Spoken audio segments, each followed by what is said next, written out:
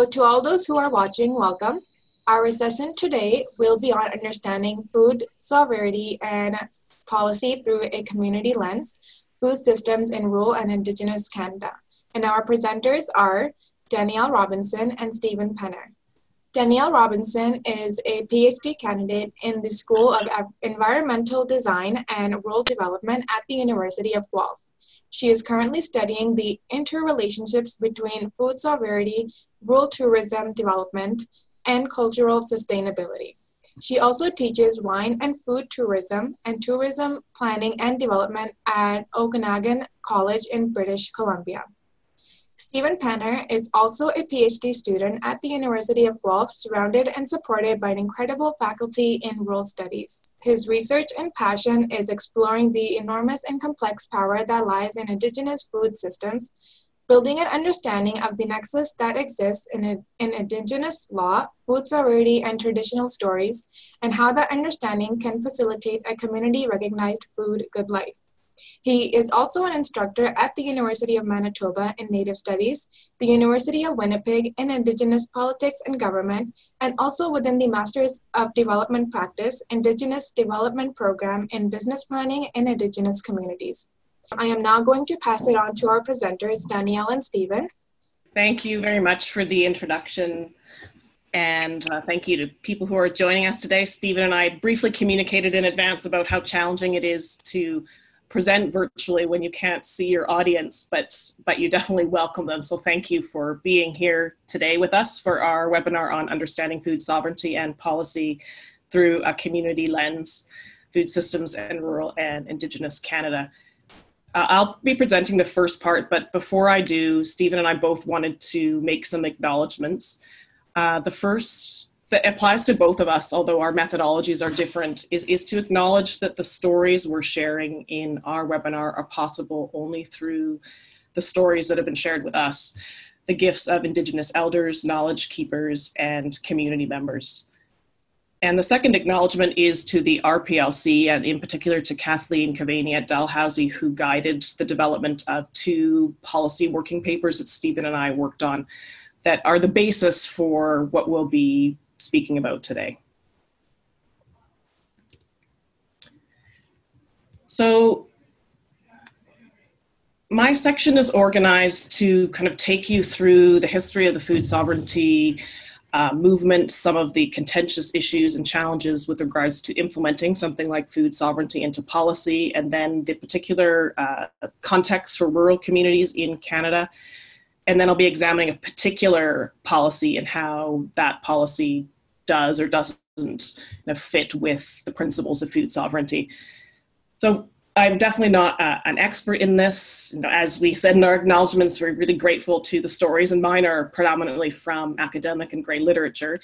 Uh, there are people in Canada and organizations that have been working on these themes for a, a, very long time. And in my references and when the presentation is uploaded, you know, please refer to those for, for much greater depth of knowledge and expertise.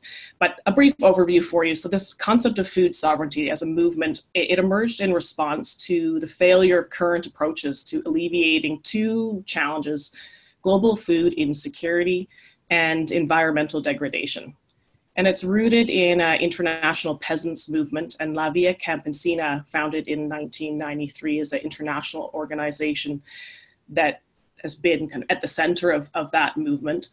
They define food sovereignty as the right of peoples to healthy and culturally appropriate food produced through ecologically sound and sustainable methods, and their right to define their own food and agriculture system.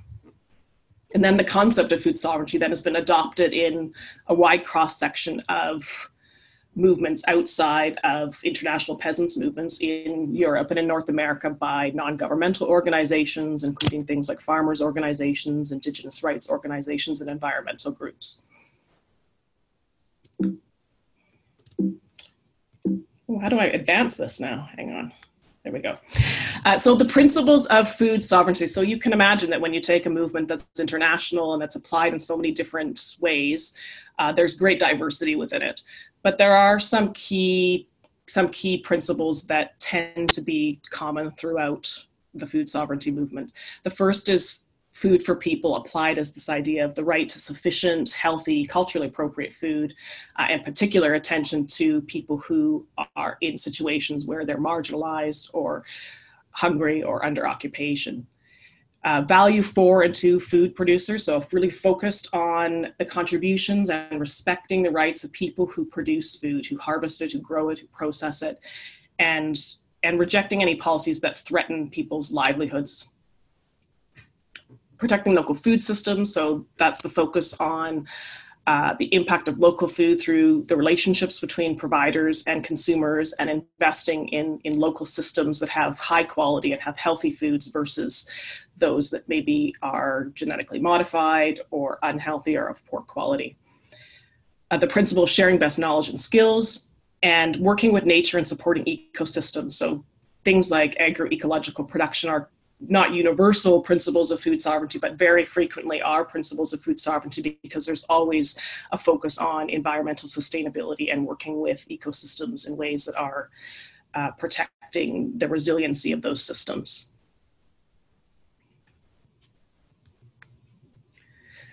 So obviously, uh, uh, such a broad movement isn't without its its contentious issues, and uh, one of those issues has been a debate about distinctions between the concept of food security and the concept of food sovereignty.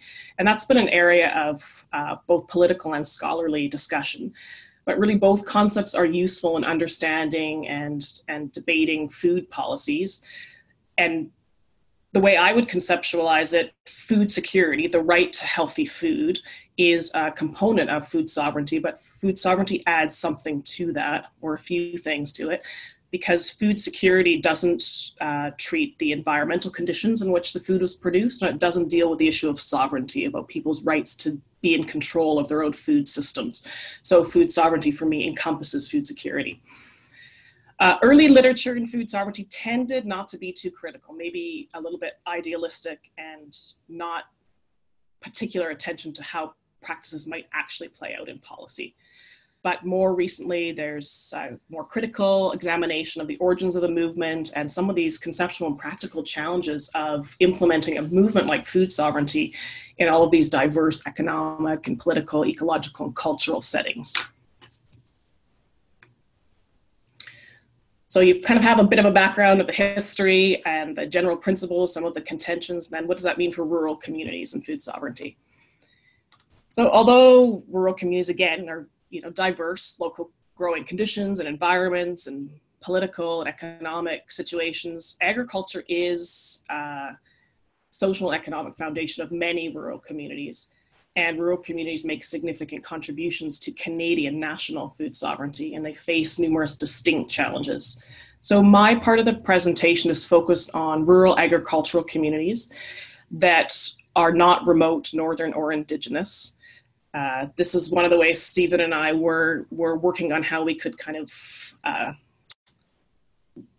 consider these concepts and give things due attention, but also, you know, just because we've separated them here and we have it in our working uh, papers, we see them as very interconnected, and we'll speak to some of those interconnections at the end. But I'm focusing mostly on, on rural agricultural communities, and I'm referring here to Food Secure Canada uh, when we talk about how food sovereignty has evolved in Canada. Food Secure Canada has been working on these issues for many years, and they have, you know, a variety of policy-related work and, in particular, discussion paper on food sovereignty in rural and remote communities that I would refer you to for uh, further information.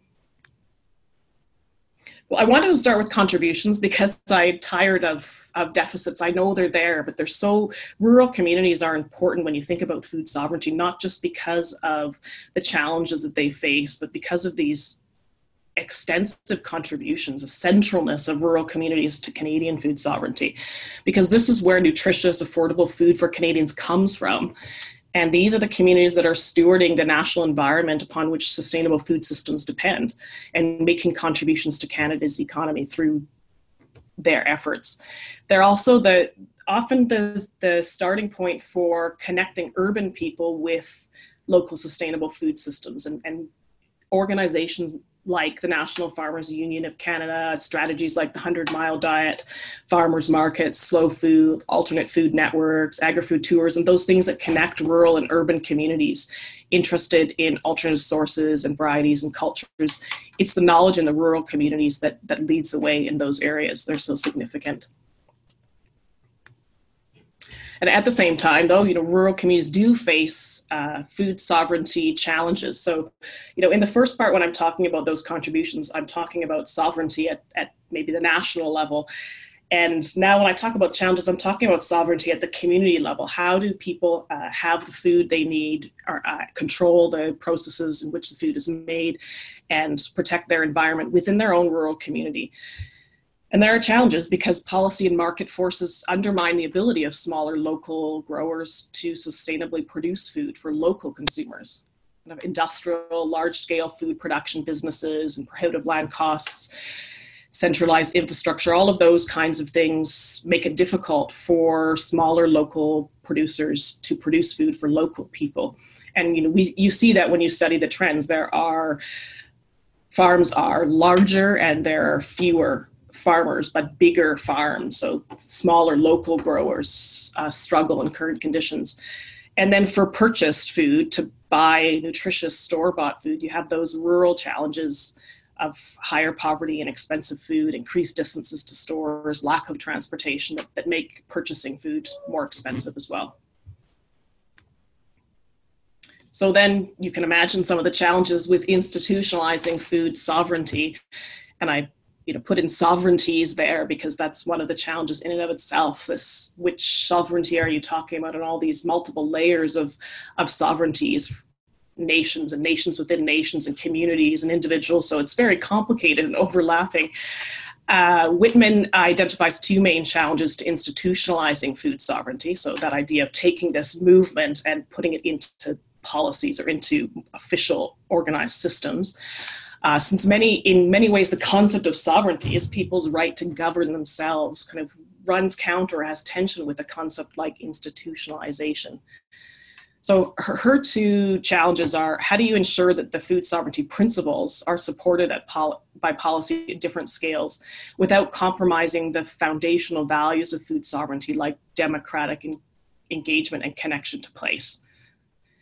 And the second one is how do you institutionalized food sovereignty when the international trade system is set up to remove supports from domestic food and agriculture programs. And you see that when you look at policy the you know the constant uh, pressure and incentivization of, of export agriculture. That's kind of the that that's sitting beside the concept of food sovereignty with some tension so, if those challenges aren't successfully met, the radical grassroots demands for food sovereignty could transition into institutionalized policies with compromises that, that basically aren't in keeping with the principles of food sovereignty. So, if you look at the Canadian policy context, and here there's a link at the bottom there, it's um, you know quite recent work doing a policy scan across Canada, looking at things like local food systems and food sovereignty. Explicit consideration of the concept and its implications for the market and for the state are absent from most Canadian policy. It, that's particularly sensitive for rural, remote, northern, and indigenous communities because of these contributions and challenges.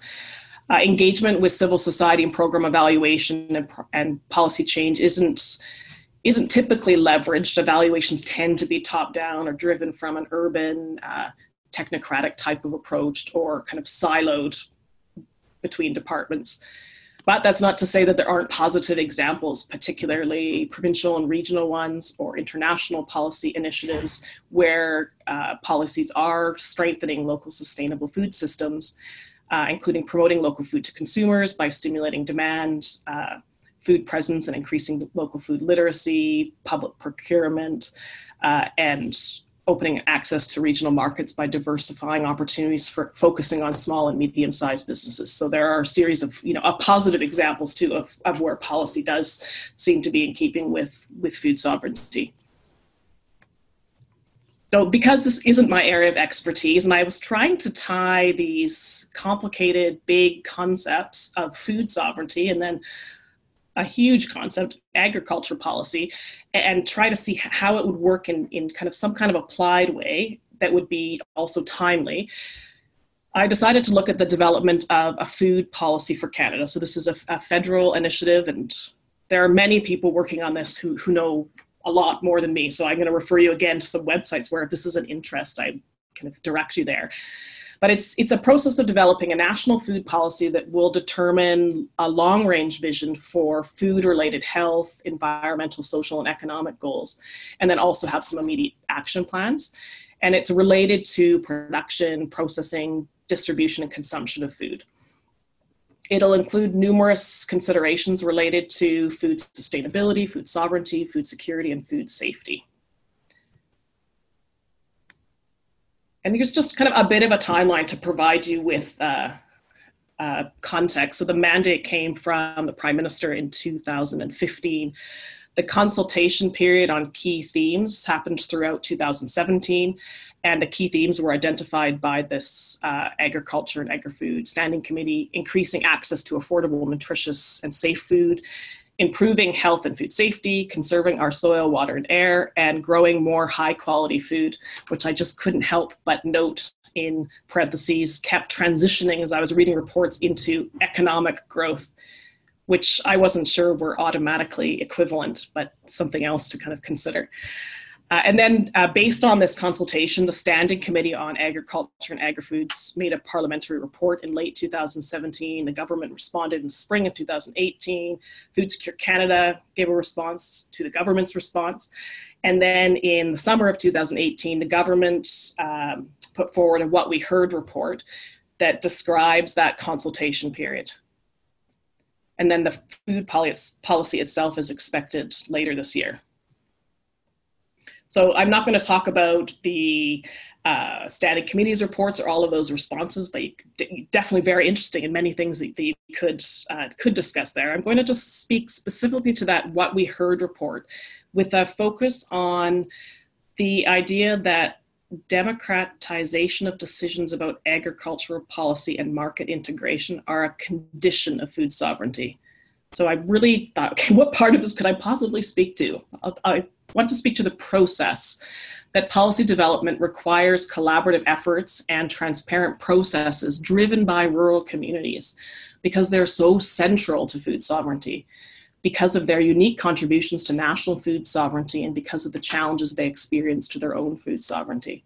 So I just kind of try to take one piece off to, to discuss today. So the what we heard report is available uh, online, and when you see the presentation, there's a link there. And there's you know quite extensive um, consultation in a variety of different ways. So you see there's an online survey with almost 45,000 responses, a national food policy summit, a series of regional engagement sessions, uh, all in urban centers, but one in, in the north in Yellowknife. Uh, briefs to the House of Commons, over 100 written submissions, town halls hosted by members of parliament, community led engagement by uh, non government organizations, and then some self led uh, national indigenous organizations also did consultation. So a variety of things. And then again, I'm going to narrow it down once more because there's so much you could, you could talk about here. And just look at the survey because in the What We Heard report, they do give you a breakdown of the percentage of respondents and the size of the community the respondents were from. And I thought that that was interesting because you see that the responses from remote or isolated communities is 4.2%. And the Canadian population living in areas of under 1,000 in 2011 census was 18.9%, and maybe it's more like 16.8 now, but it's not representative, like it's a quarter of the rural percentage of the population. So for me, I had I had some questions about that in terms of seeing how critical rural communities are and then saying, oh, you know, who are you hearing from in your consultation process? So really it just brought up a lot of questions. Like what are the barriers to participation that exist? in rural, remote, Indigenous communities, and how were they addressed by this Food Policy for Canada consultation process, and who chose the process, and who implemented the process, and how did the process drive the outcomes because for me, those are really critical questions from a food sovereignty perspective when you're talking about democratic process. And there, and there are some, you know, positive, really positive things, or really, I think, sincere attempts to be uh, wanting to represent views from both urban and rural Canada. So kind of, this is a, you know, quote directly from that What We Heard report, and I've kind of highlighted some of the key points that maybe start to answer some of my questions uh, and maybe raise some other ones. You know, certainly uh, understanding that uh, you know the guidelines could be tailored for sessions to fit community needs, and questions could be added. But there is a consultation toolkit provided, and the themes of consultation have been pre-established. And you know there is an effort to you know that, that some local community members and understanding they are difficult to reach through traditional methods. So providing funding to food secure canada to directly engage with civil society is a very you know positive acknowledgement. And you can go to food secure canada to see the results of those in-person sessions and then trying to provide opportunities for people to you know, submit their views through email or regular mail so you, you see those efforts to work towards some kind of democratic process, although there are weaknesses. And so for me, then more questions about process. You know, should consultation demographics reflect the demographic reality? Or perhaps even overemphasize rural, remote, indigenous communities, given the great contributions and challenges. You know, maybe this is not a peripheral, like sometimes we don't hear well from these people, we better, better go off and do some add-on things, but really actually central driving this process if it's going to be a policy that represents a food sovereignty for all Canadians. And then that critical question, which I applies to probably all consultation when policy is being developed, you know, when the input is wide ranging and broad based, not always consistent. And that's a quote again from the What We Heard report. How are decisions made about what input gets valued? And I don't know how you create the transparency in that process to understand it when you feel that some viewpoints maybe aren't getting valued in a consultation process. So really, I'm leaving you just with more questions than than answers. So my, my final slide for my part is really the key points of it for me that I could leave people with today is just that policy development processes that are going to support food sovereignty for rural communities. They need to really genuinely afford opportunities to value rural participation in holistic, inclusive, transparent processes that bring together government and communities and open and critically consider the roles of the state in the market and food sovereignty. And that rural communities are uniquely positioned to contribute to conversations about profound structural changes. And there's really a need for action oriented, community driven future research related to operationalizing and measuring concepts like food sovereignty. And then, by way of passing it over to Stephen, to note that, that northern and remote indigenous food sovereignty is, is in my mind, at the heart of rural food sovereignty, which is so central to food sovereignty for all Canadians. So, with that, I'll pass you over to Stephen. Thank you, Danielle. Um, now we can see the difference between a PhD student and a PhD candidate. Um, firstly, I um, want to say uh, Bonjour, Nudinaway, Maginadog, as my other, has, as many elders have taught me. I wanted to greet all my relations um, in a good way. Before I started, I wanted to do two acknowledgments, one similar to Danielle's, but I wanted to acknowledge that um, this webinar is taking place or we're coming from Treaty One lands, home of the Anishinaabe, Cree, Oji-Cree, Dakota, Dene people, and the homeland of the Métis Nations. Not something I do without a tremendous amount of, of heart and uh, and uh, grounded in my my philosophy of, of belief that we are we are all beneficial we're all treaty people and we all benefit from being on the land that was given to us or not even given to us which was ceded to us by certain uh, indigenous peoples. I wanted to reiterate the teachings that i am sharing and it is that's my job is um, about the learnings that I learned, I've learned in going to communities through my research, through my journey, um, and being gifted some knowledge. And knowledge only exists if it's shared, and sharing it is um, an honor. And I can never reciprocate the gift that uh, of this knowledge, but I will try by um, talking Before I start, I will do my traditional introduction, which is um, Bujo Maginadog, Mang and Dasmake, Mangan Makade Dodem, Winnipeg, Eeyou Istchee, Montreal, and Dunji. Father, son, teacher, learner, um, Wemshtushki. I just what I just went through was my my spirit name, which is the Loon. Uh, my clan name, which is the Black Wolf Clan. Uh, my home, which is many places, but my home is my adopted territory of Eeyou Istchee, which is northern Quebec, James Bay Cree. I consider them family. Um, where I'm from and what I do with my life, and Wemshtushki means I'm non-indigenous. It means something else, but I will use a polite um, term. And everything that I'm going to say is as a discussion. It's not; these aren't my stories. As I've said, this is just a sharing. And my research work and way of walking is based on the Seven Grandfathers' teachings, which is not often associated with academia, but it's wisdom, love, respect, bravery, honesty, and um, respect and and the truth. And these are some pictures because how can we have a conversation if you don't know who I am? I've got a little picture of me in black and white as a kid, my parents, which are very important, um, and just some pictures of where I've been and where I've traveled.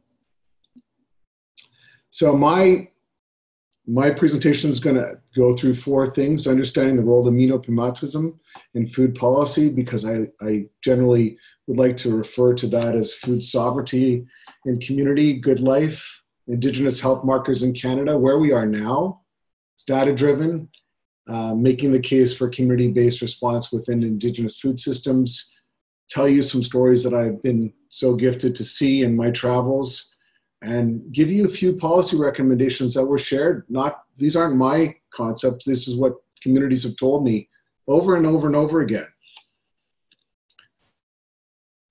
So, what should what should a food policy? It should help strengthening voices and facilitating facilitating unforgetting of indigenous food practice from the community's perspective, deeply based in the community's perspective. What is Mino-bimaadiziwin? It's the Anishinaabe word for good life, but it's not just words. It's it's very very central to many um, indigenous peoples. This is just the Anishinaabe version of it, or Anishinaabe representation. I, I gave you this one because it's by my favorite legal scholar, John Borrows from the University of Victoria, who is, in my mind, one of the most um, eminent, preeminent Indigenous scholars around today. A more traditional or more elder version is what Mino Bimadwism, and you'll notice the different spellings. One's Cree, one's Anishinaabe. Um, based on the prevention of illness, suffering, and maintaining of good relationships. This is fundamental to food good life in communities, and not just within Anishinaabe, Cree, it's in Dakota, Lakota, Yupik, uh, and Nupiat. I can name off at least a 40 to 50 different indigenous nations where this is important in different forms. If we talk about the Arctic in Nunavut, it's known as Kwayema Ya Tukangit, which is indigenous traditional knowledge, and it's based in Maligate, which is the concept of balance. This is maybe new to some, may not be new to some, but it is very fundamental uh, part of their overall system of thinking and being. You can't pull away food from the economy, you can't pull the economy from health, and you can't be healthy and have good life if there's not one system that's working. And we know that in many communities, many systems aren't working. So this is something that in writing up the, the policy paper that Danielle, on my part, I sort of wanted to come up with a word that really brought to the core what what is happening in many indigenous communities. They live in a food prison not because of their own choices, but because of our colonial residential schools, um, 60 Scoop Indian Act, um, and it goes it goes on and on. But it's not a food wasteland. It's a lifetime sentence to a food prison where they do not have authorship over their own foods because they don't have the knowledge existing in their communities because it doesn't exist anymore because it's been wiped out in many cases and is not um, fostered in many other cases. So, food prison is a tough concept. It definitely would hold true in many communities. Sad to say. How should we explore Indigenous food systems using the lens of Indigenous perspective and worldview? I love this quote stories are data with soul. Um, stories live with telling. If we're not telling stories and we don't treat them as, as hard data, we're not doing a service. This comes from a social scientist perspective. From my perspective, it may be hard for some people in the hard sciences to accept, but I think the paradigm is changing and more people are taking on Indigenous research methodology as real and authentic. Some are not, some are. As Mother Earth, of, as Mother of life, Mother Earth gives birth to everything food, the water, the medicines, the clothing, the shelter. As I said before, everything is interconnected. Most of all, the love, kindness, and teaching that a mother gives to her child. Fundamental in Indigenous thoughts and worldview, Anishinaabe, Cree, Dakota. And this was at, uh, I was at a, a lodge in, Tur- in First Nation where I received this teaching. But it's really important when it comes to food Traditional food is a cultural anchor, often important to the identity of Aboriginal people, and this was from 2015. The sharing of traditional food has a role in maintenance of social norms and expectations. There are important spiritual aspects associated with traditional food use. We might recognize this in our own location, but we are definitely not recognizing it when we're setting up policies in Indigenous communities. We think that we can rely upon our colonial systems, and it is created a healthcare epidemic from an indigenous perspective. But if we under, look at this report, and this was a report tabled by the Fox Lake Cree Nation in answer to the, the Keeyask Hydro Dam project. They were saying if you wipe out our food, you're not just wiping out food, you're wiping us out. So health effects of colonial food systems, this is a bunch of data points that I think are important to share. It's estimated that eight, eight in 10 First Nation young adults will develop type 2 diabetes compared to five in 10 in the general population. Something is obviously wrong. I don't have to go into details there. The data speaks for itself. When we talk about reduced bush activity in places like northern Quebec, northern Manitoba, northern BC, we talk about large, from high, large scale hydroelectric, we can talk about pipeline, we can talk about oil. These are all things that we do not do a very good job of exploring when we do impact benefit assessments, um, and we don't do a very good job of understanding the the role that taking away land connections to the land, taking away activities on the land creates for many indigenous people. But it's very sad to say that we are talking about suicide, which is a dramatic effect of land loss culture loss um, in northern Quebec, because that's where Carole Desbiens was writing about. Some other stats are First Nations are five to six times more likely to die by suicide than their non Indigenous counterparts, 11 times the national average. I just will sit with that for a second. In some communities, it's, it's much worse than that particular average claims of epigenetic changes to endocrine and immune disorders, rates of opioid addiction, substance abuse, chronic PTSD. And this is something that I thought was pretty profound when I looked at the Cancer Care Ontario 2018 report. They recognized what colonialism has done um, in terms of cancer and mortality rates and also access to cancer care. In Inuit, which is northern Quebec, life expectancy is 4.3 years less than in the rest of the province. So we have people in northern Quebec who are going to live 4.3 years less than people in southern Quebec. That's, that's just shocking to me. And how we can create policies or how we can support policies to make a difference because this is not something that is going away in the near future and it's something that we took a long time to create but it's something that we can support building new pathways to having a support system in terms of food so like like danielle i want to point out some positives in terms of changes that i've seen and recognize them for what they are because these are important food movements to establish Mino-bimaadiziwin in certain communities that I've been in and grateful to have seen them.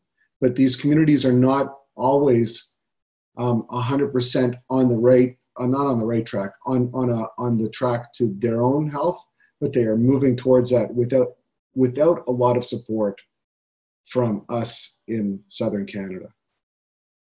So I just pulled up this, this was a slide and my students would probably recognize this.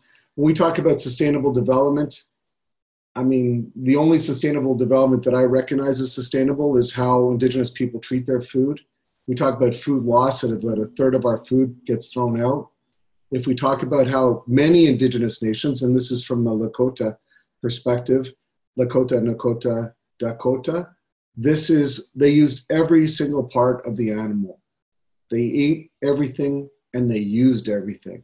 I cannot think of a sustainable system as described to me in my first year by both Dr. John Devlin and Dr. Al Lauzon. This is a sustainable system. There are no inputs, outputs, it's just closed. And I think that's important to recognize the loss that we have incurred in not recognizing this effort or not recognizing this story.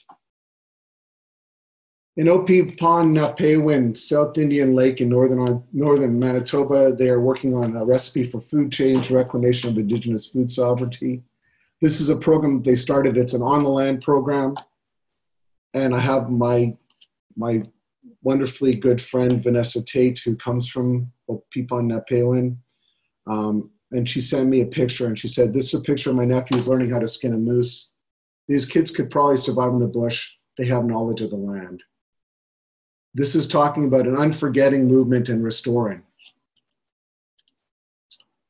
When we talk about northern Quebec, Eeyou Istchee, which is my adopted home, I hope, um, we talk about some of the devastating effects of the land change there. Um, and these are in the words of the Cree, economically, socially devastated by large hydroelectric developments initiated and built by our traditional lands by state owned electricity corporations, Hydro Quebec. We can see the devastation. If we think, talk about grandfathers, we can imagine the number of grandfathers displaced through this, this action. But then we go and see how people choose to have their own food Mino-bimaadiziwin. There's a shot of goose and shopai boiled bannock.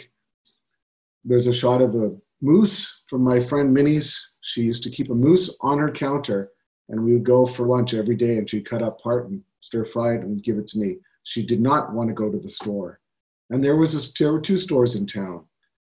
Um, and then we see uh, rabbit, rabbit stew in the bottom left-hand side. UNDRIP actually informs food policy when we think about it because it provides the right to practice and revitalize cultural traditions and customs. And if that's the case, we haven't done a good job of recognizing UNDRIP I think I'll leave that aside for the moment, but you can see the other side of that, um, that spillway in this picture. It looks beautiful. It really would cause you to cry if you knew the devastation. And there are Cree elders that are buried under the floodway. And that's not something you can go and visit and, and walk away from without some scarring. Up in Naujaat, which is in Nunavut, 50% of the food comes from self-produced on-the-land food, seal, caribou, Arctic char. That's a, um, an inukshuk. It's not the typical one you see. Just for a lesson, there are many, many different types of markers on the land in the north. It's not just the traditional one that you see. Some mark all kinds of different things. There are markers on the land, and I think it's important that I could pass that knowledge along. But 50% of their food comes from that. It doesn't have, there's no internet or there's no um, cell phone service in Naujaat. Um, and there's a, according to the people that I talked there, it's the lowest crime um, lowest crime community up in Nunavut.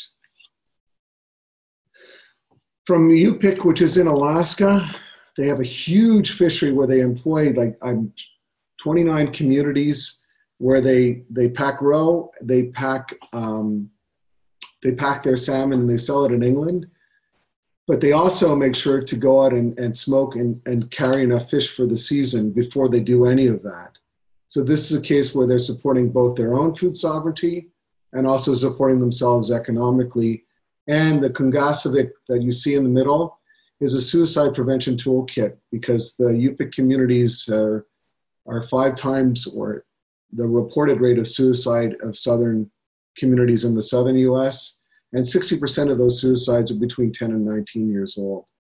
So they, they came up with a response that emerged from the community that is also supported by economic development, which is supported by food sovereignty or food Mino-bimaadiziwin.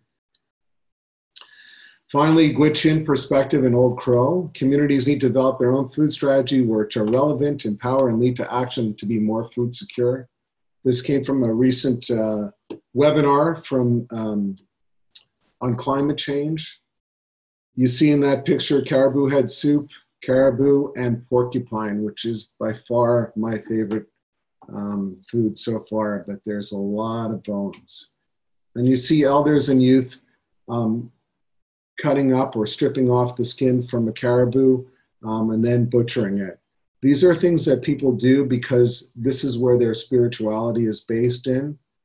And we need to find ways how we can support that. And we're gonna, I'm gonna talk about that as I move forward here. Finally, the teaching from Oji-Cree and Anishinaabe perspective and the Nishnawbe Aski Nation. When we talk about food, we don't have the same conversation that most of us, most indigenous people, most traditional indigenous people have. They talk about the teaching that can be had by planting, harvesting, um, drying, taking care of wild rice, manoomin. It's a, such a spiritual connection that they develop, and without having this without allowing these without allowing these things to grow and foster and blossom in communities we are we are not doing a very good job of having a pan canadian food policy that recognizes the food sovereignty of all of us we don't have to think about where we get our food we go to a grocery store we're talking about western science we're talking about the arctic traditional food systems um, is, is oh, I got to move this because I can't read it. it, is superior to the, that of the composite of market food consumed in the North. They're healthier when they eat traditional food. They want their own food choice, that's their choice, but it, it is scientifically researched that Northern food keeps Northern people healthier. And when we're importing a colonial system through stores like the Northwest store, which dominate the market scene up there, there is no health that is provided to them. If they want that, if people want that in Naujaat, that's their own choice. Although there's only a co-op in Naujaat, which is well, I'm not sure. I have to. I've got to check that. But it's that's where food choices um, become important and supportive on the land. Food movements are incredibly important in indigenous um, locations, and in particular Inuit. Food is a recognition of sovereignty because I frame this differently. I'm looking to food to, to underpin sovereignty, not to, not to for sovereignty on its own right. Consuming traditional food revitalizes our culture, our language, and our ceremonies. It reinforces our sovereignty within our families. Many northern um, nations believe in they are autonomous because of all the history that exists between Canada and the First Nations that it was given to them, and they run their communities as if they're autonomous. But we need to support those movements and we need to support food movements that underpin sovereignty.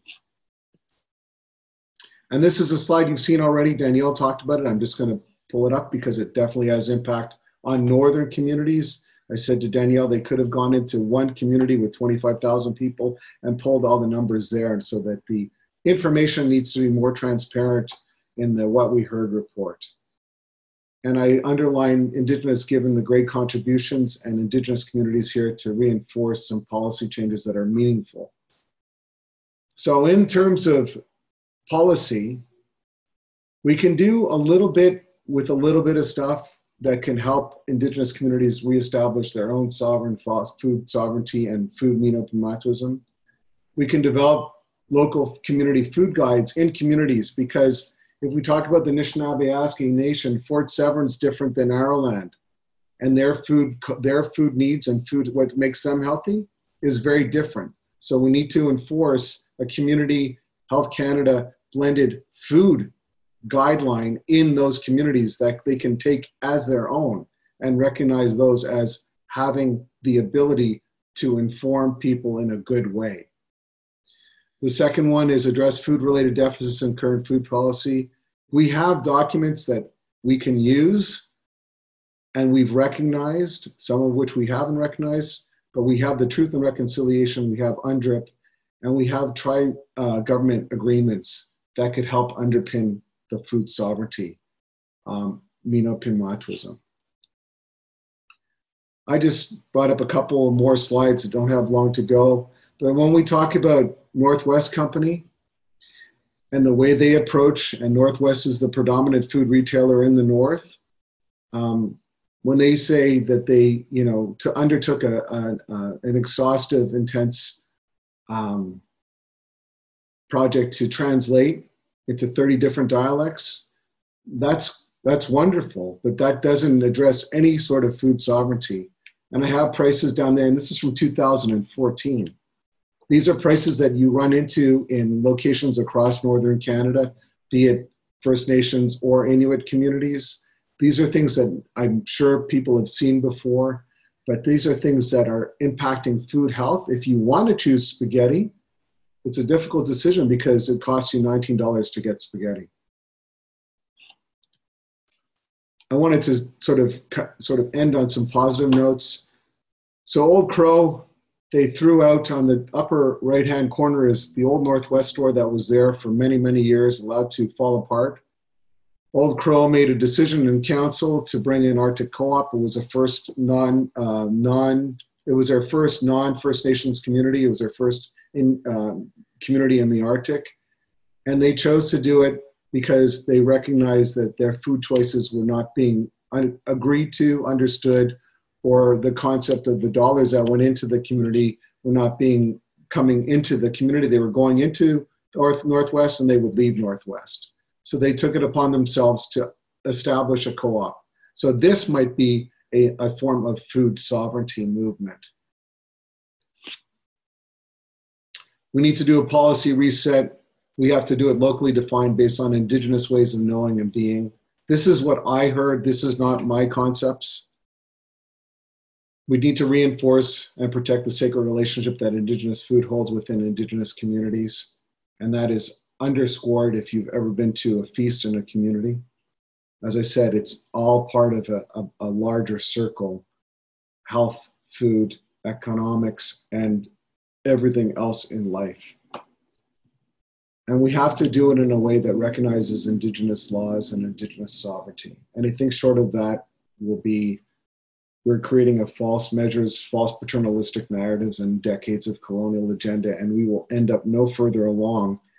But our communities, our Indigenous communities, will take that action on their own, and we need to be part of that action. The final reflection, some shots. We need if we're talking about reconciliation it's as my elder told me or one of my elders told me we can't even have reconciliation with that we don't, we're not even at conciliation. But if we do this movement we can help to create forms and pathways to reconciliation and we have to ensure that it is honorable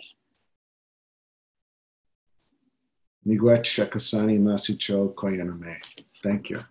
Um, so thank you, Danielle and Stephen, for sharing that information with us. It was very informative. So for those in the audience, if you have any questions, the Q&A box at the bottom of your screen.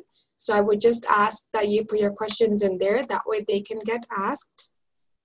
Um, I did have one question come up in the chat. It was from Brian. Um, so his question is, how do we move forward in local food sovereignty without recognizing and repeating how the land slash water provided for needs and how indigenous people survived? Are these concepts reflected in the principles? Um, I, I, think Brian sent that question. I, am I'm, I'm going to take that one, Danielle. Sorry. Um, Brian sent that question before I started my presentation, and hopefully he saw the emphasis on recognizing Indigenous law and recognizing Indigenous sovereignty. We can't move forward without those two things. And time and time is a construct that is not usually accepted by Western science or science principles. And obviously, in the What We Heard report, Daniel and I talked about it. You know, consulting over a summer, doing it quickly doesn't always engage in the people that we need to engage with, and not going to those communities and doing consultation doesn't recognize their own sovereignty and and and and, and their own legitimate participation in their food sovereignty, food meetup, and Matwism. So there is another question, I believe. Um, how is first mile and whole community and breaking down the silos created within the colonial, capitalist, and corporate agenda? Danielle? I don't, I don't know, but I'm interested. I'm going to have to look at firstmile.ca. I'm writing it down right now. Thank you for sharing that, Brian. Uh, from my perspective, it, it is, I think I'm not, I haven't looked at First Mile. I believe that we all, getting informed is the first step for all of us, not only us in the, the presentation, but us as a, as a larger community. And once we're informed, we can start being more activists in terms of where to apply pressure in terms of policy direction. Policy people don't listen to anything unless there's a large movement um, against or for what they're saying. So that may be the, the, the way to create colonial, against colonial capitalist and corporate agenda. We have a ton of power and we need to express those power. And that's the stories that I was trying to say from those communities. They're not waiting around for us to form these policies. They're forming their own policies and taking action where they see that they need to do something different. And I, I, I, can't speak to to First Mile specifically because I, I don't know enough about it, but I will look into it more because it sounds like there is great alignment. I, my first reaction in in terms of how you break down those silos is is just continuing to press for transparency in all processes, and and I think creating that accountability, like it's like we're, we're getting there. I, I, see when you look at it historically i see the progress. It's slower than than is right but it's it is progress. It's it's just still inadequate at really capturing um, like the power dynamics that that exist. And and when i go and look and you know you're thinking of a question like well who presented to parliament? Like which industry interests presented to parliament? I want to know who presented at what time and who was in the audience. You can usually find those things out, but nobody makes it easy for you to find it. Like I had to go into the federal like parliament presentations to find the agendas for that part. It's not pulled together for the community to see who's presenting from industry. So there's lots of room to make to push for transparency in a way that's accessible for people, and that's one one step. Okay, thank you, Danielle. Just getting back to Brian's, just while I have a minute, Brian, it was said last week I was at the Canadian Food Law Policy Conference, which was very Western and uh, legalistic, with lots of lawyers. And part of the part of the group that was there said, you know, just the fact that we're here having these discussions will move things forward. And I, I think that's that that that gives me a certain amount of hope. Alrighty, so we have another question here. um, Cornelia, sorry if I'm pronouncing your name wrong. Um, what goes into making bannock? Uh, are these grasses with seeds that could make the um, flour, or is it another adaptation to colonism, like um, fry bread? Yeah, my understanding, and I, I have no, I, I make my own bannock. Bannock is uh, is a form of um, scone. It's just something you make up fast and you can fry it or you can put it in the oven, but it's really, it's made with flour. I've never seen a recipe for bannock with, uh, with, with manoomin, with wild rice.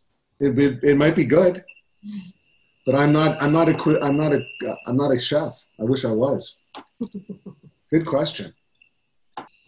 Are there any other questions that anybody would like to ask?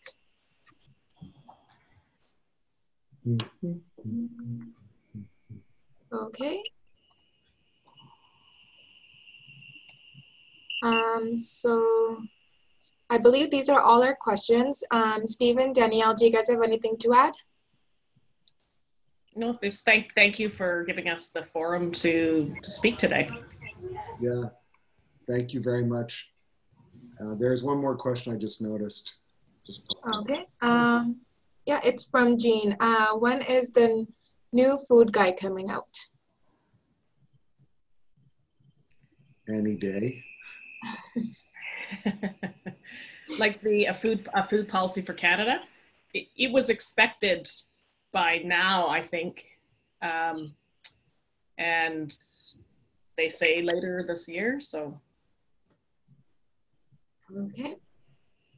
Um, so I would like to thank you, Stephen and Danielle, uh, both of you for your great presentation, and as well as the audience for attending um, and for their participation. Have a great rest of the day, everybody, and thank you for participating.